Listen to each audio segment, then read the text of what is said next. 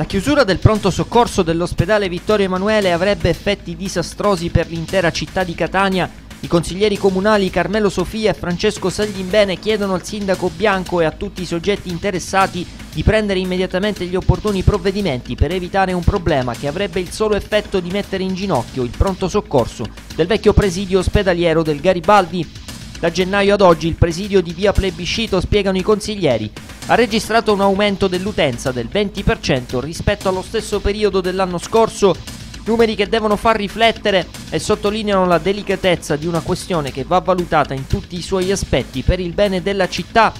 In quello che tutti conoscono come il vecchio Garibaldi, infatti, ci sono circa 75.000 interventi l'anno, mentre il pronto soccorso del Vittorio Emanuele ne effettua quasi 60.000. Chiudere la struttura di via Plebiscito comporterebbe un aumento di circa 30.000 casi l'anno per il Garibaldi che non dispone di locali e personale adeguato per un simile scenario. Va considerato poi, proseguono i consiglieri, che chiudendo il presidio del Vittorio Emanuele nella fascia interna di Catania mancherebbe il pronto soccorso pediatrico e ginecologico. Oggi gli unici servizi di questo tipo si trovano al nuovo Garibaldi di Inesima e al Cannizzaro, molto decentrati dal resto della città, negli ultimi mesi è stata prevista la realizzazione di un nuovo pronto soccorso nel vecchio presidio ospedaliero del Garibaldi. Per l'opera sono già stati stanziati 16 milioni di euro. Il progetto è pronto ed è stata pure bandita la gara di appalto, che però procede tra lungaggini burocratiche penalizzanti per le esigenze della città. Da qui la richiesta dei consiglieri di accelerare l'iter delle procedure concorsuali e di velocizzare i tempi della gara d'appalto.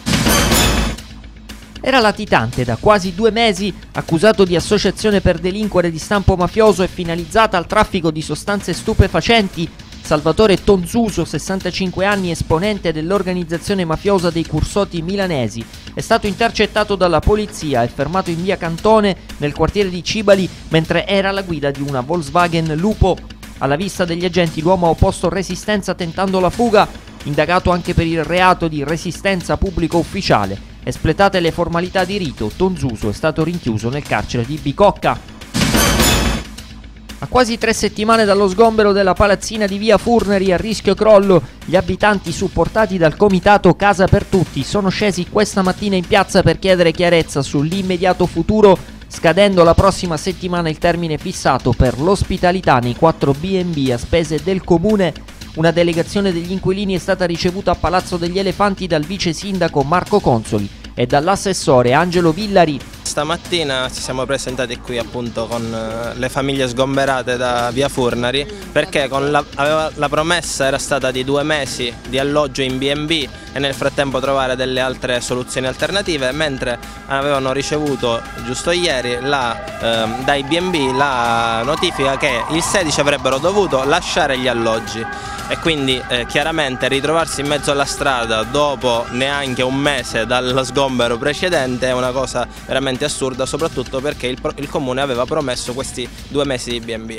Una volta qui sotto, eh, avendo fatto anche un po' di pressione, siamo riusciti a salire a incontrare il vice sindaco Consoli e l'assessore Villali che hanno garantito che per almeno altri eh, 30 giorni ci saranno i BB a disposizione, quindi le famiglie non dovranno lasciare i BB e domani ci sarà già un altro incontro eh, ottenuto all'assessorato alle politiche sociali per riuscire a trovare in questo mese delle case eh, che possano essere compatibili con il bono casa messo a disposizione del comune. Quello che si dice e che eh, si chiede è un alloggio garantito per tutti e fino a quando ovviamente questo non verrà messo in atto dal comune che l'ha promesso nessuno sarà contento.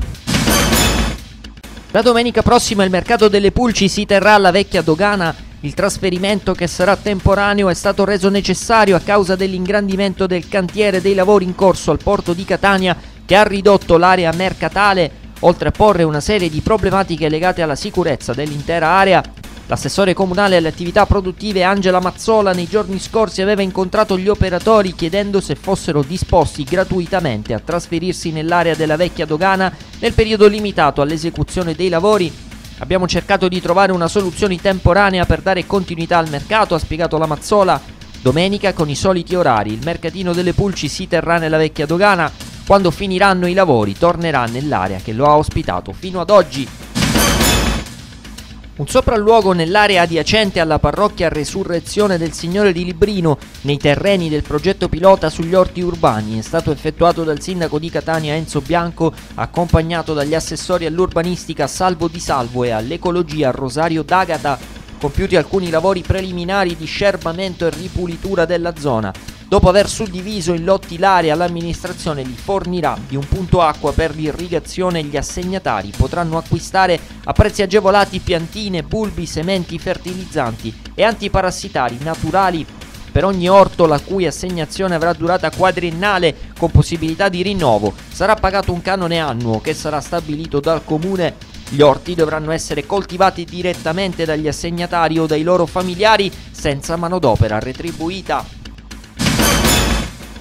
70 studenti stranieri provenienti da 15 paesi europei sono stati accolti questa mattina nell'aula magna del Palazzo Centrale dell'Università nel corso del tradizionale Welcome Day promosso dall'Ufficio per la Mobilità Internazionale dell'Ateneo Catanese. I ragazzi, grazie al programma Erasmus Plus, trascorreranno a Catania il secondo trimestre accademico in aggiunta ai 120 loro colleghi già presenti in città da settembre i nuovi Erasmus provenienti da Austria, Belgio, Danimarca, Francia, Galles, Germania, Grecia, Lituania, Polonia, Repubblica Ceca, Scozia, Slovacchia, Spagna, Turchia e Ungheria hanno ricevuto il benvenuto del rettore Giacomo Pignataro e dai rappresentanti delle associazioni studentesche, tutte le indicazioni utili a conoscere e comprendere la cultura e le tradizioni del territorio.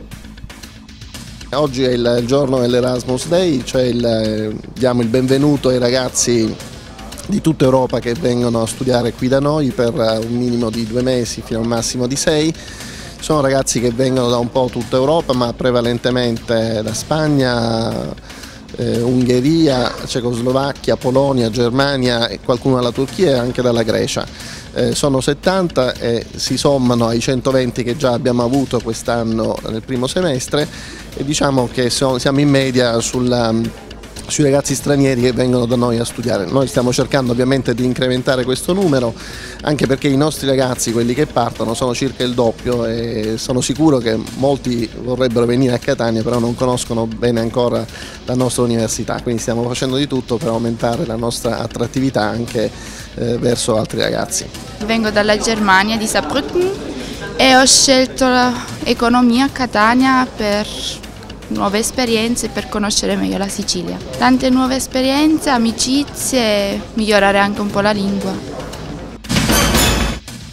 L'arcivescovo di Catania, Monsignor Salvatore Gristina, ha benedetto e posto idealmente il primo mattone nei locali della parrocchia Resurrezione del Signore in Viale Castagnola 4, alla presenza del sindaco Enzo Bianco, accompagnato dagli assessori all'urbanistica e al decoro urbano Salvo Di Salvo, al welfare Angelo Villari, all'ecosistema urbano e per la valorizzazione di Librino Rosario D'Agata un sogno di carità che si realizza nel cuore di Librino dove nascerà nei prossimi mesi la mensa della Caritas in memoria del beato Dusmet, cardinale e vescovo etneo che ha dedicato la propria vita ai poveri. L'opera caritatevole si estenderà su una superficie di quasi 300 metri quadri e potrà donare un pasto caldo a circa 200 persone con l'aiuto dei volontari della Caritas e della parrocchia L'ingresso sarà libero così come avviene per l'Help Center della stazione centrale con le famiglie bisognose che verranno segnalate dal parroco. La mensa sarà realizzata anche grazie ad un piccolo contributo mensile 20 euro dei sacerdoti e dei diaconi della diocesi, senza dimenticare diversi benefattori anonimi. I lavori inizieranno entro due settimane per concludersi tra due mesi.